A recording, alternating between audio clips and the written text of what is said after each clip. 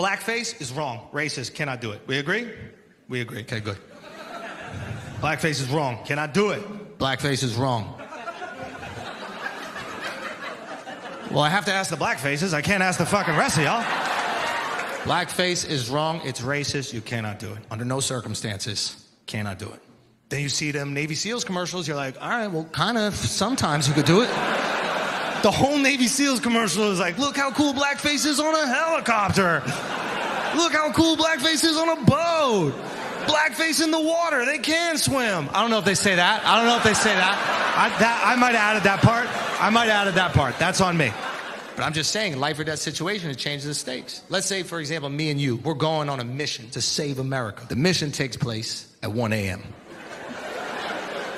That is an important piece of the information on the call sheet. You have your complexion.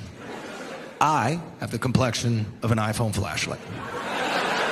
If you don't give me blackface, we're fucking dead. I'm a disco ball in the desert. They're gonna see us from a mile away. It's headshots for the both of us. You wanna see her again? You gotta paint me the fuck up, bro. Full thing. You don't have to do the lips and the tap shoes. That's a little bit much, but you gotta paint me up. You gotta paint me the fuck up. You're not gonna let me go on that mission with you without putting on blackface for your safety.